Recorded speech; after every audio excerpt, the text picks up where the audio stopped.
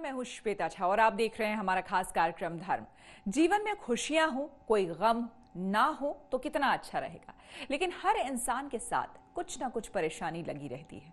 कुंडली में अगर शनि की बुरी छाया पड़ जाए तो जीवन में तमाम तरह की दिक्कतें आ जाती है। लेकिन ऐसा नहीं है कि शनि सिर्फ़ पीड़ा या कष्ट ही देते हैं। शनि तो सिर्फ़ कर्मों का फल देते हैं। जैसा कर्म, वैसा ही फल।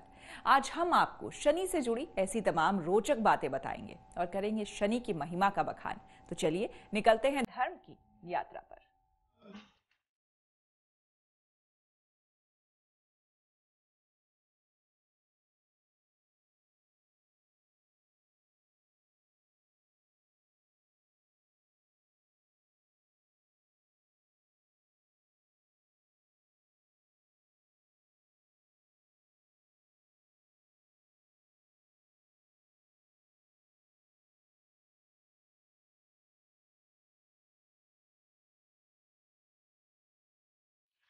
शत्रु या मित्र है शनि।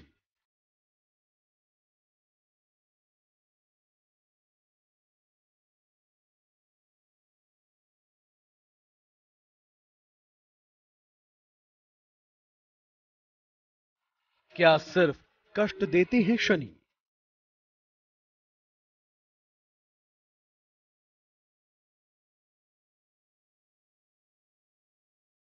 कितनी लाभकारी है शनि उपासना।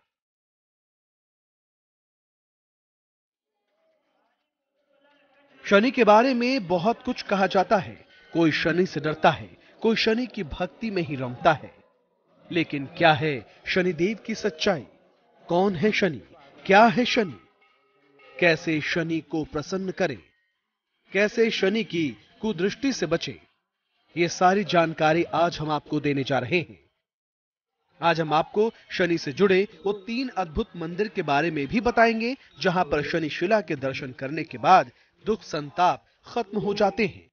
लेकिन सबसे पहले आपको बताते हैं शनिदेव के बारे में कुछ रोचक बातें। शनिदेव के बारे में बहुत से पुराणों में ज़िक्र है। शनि को सूर्य पुत्र माना जाता है, लेकिन साथ ही पितृशत्रु भी। शनिदेव को मारक अशुभ और दुख का कारक माना जाता है। पश्चिम के ज्योतिषी भी उन्हें दुख देने वाला ही मानते हैं। मोक्ष अगर कोई दिला सकता है तो वो एकमात्र शनिदेव ही है। शनिदेव प्रकृति में संतुलन पैदा करते हैं। शनिदेव हर प्राणी के साथ न्याय करते हैं। शनिदेव के बारे में अक्सर चर्चा रहती है कि वो देव हैं या कोई ग्रह। लेकिन कई पुराणों में शनि को लेकर अलग अलग ज़िक्र देखने को मिलते हैं। पद्म पुराण के मुताबिक शनि प्रकोप से राज्य को बचाने के लिए राजा दशरथ ने उनसे मुकाबला किया था। राजा दशरथ का पुरुषार्थ देख शनि ने उन्हें वरदान दिया था। राजा दशरथ ने विधिवत स्तुति कर शनिदेव को प्रसन्न किया था। ब्रह्मवैवर्त पुराण के मुताबिक शनि ने पार्वती जी से कर्म और फल की चर्चा की थी। शनि ने माँ पार्वती से कहा था कि मैं सौ जन्मों तक जातक की करनी का फल देता हूँ। विष्णु प्रिया माँ लक्ष्मी ने शनि से जातकों की धनहानि के बारे में पूछा था। शनि ने तब कहा था कि मातेश्वरी परमात्मा ने उन्हें तीनों लोकों का न्यायाधीश नियुक्त किया है। इसलिए जो भी तीनों लोकों के अंदर अन्याय करता है, उसे दंड देना मेरा काम है। ये तो बात हुई उन व्याख्यानों की जिनका अलग अलग पुराणों में ज़िक्र है। लेकिन पुरातन हिंदू कथाओं में भी कुछ घटनाएँ ऐसी हैं जिनमें शनिदेव और उनके द्वारा दी गई सजा को भुगतने वालों का ज़िक्र भी है, जिनमें पहला नाम आता है राजा हरिश्चंद्र का।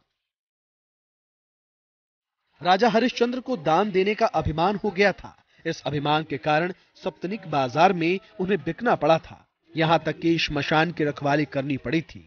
राजा नल और दमयंती को पापों की सजा के लिए दर दर भटकना पड़ा था। भूख मिटाने को भूनी गई मछलियाँ तक पानी में तैरकर भाग गई थी। महान राजाओं को भी उनके पाप कर्मों का फल शनिदेव ज़रूर देते हैं तो साधारण मनुष्य की क्या विसार जो कोई भी किसी तरह का पाप कर्म करता है, फिर वो चाहे जाने में किया जाए या अनजाने में, उसे कर्मों का फल तो भुगतना पड़ता ही है। तो चलिए अब आपको शनि के रंग रूप के बारे में भी कुछ बताते हैं। मत्स्य पुराण में शनिदेव के रूप रंग का ज़िक्र है। कहा गया है कि शनिदेव का शरीर इंद्रकांति की नीलमणि जैसी है। वो गिद्ध पर सवार है, हाथ में धनुष बाण है। एक हाथ वर मुद्रा में है। शनिदेव का विकराल रूप भयावह भी है। शनि सीमा ग्रह कहलाता है, क्योंकि जहाँ पर सूर्य की सीमा समाप्त होती है, वहीं से शनि की सीमा शुरू हो जाती है। जगत में सच्चे और झूठे का भेद समझना शनि का विशेष गुण है। शनिदेव कष्टकारक है, विपत्ति, कष्ट, निर्धनता देने के साथ साथ बहुत बड़े गुरु और शिक्षक भी हैं। जब तक शनि की सीमा से प्राणी बाहर नहीं होता, उसकी उन्नति संभव नहीं है। अच्छे और शुभ कर्मों वाले जातकों की कुंडली में उच्च होकर शनि उनके भाग्य को बढ़ाते हैं। अगर कर्म निंदनीय और क्रूर हो तो शनि उनकी कुंडली में नीच का होकर महाकंगाली की ओर ले जाते हैं। चाहे जातक का भाग्य कितना ही जोरदार क्यों न हो।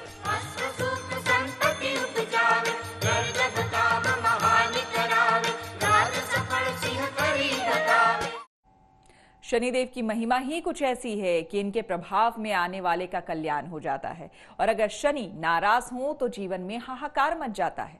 लेकिन शनि देव के तीन ऐसे चमत्कारी मंदिर हैं, जहाँ पूजा उपासना करने से शनि देव शीघ्र प्रसन्न हो जाते हैं। और आपको मिलने वाली पीड़ा हर लेते हैं। शनिदेव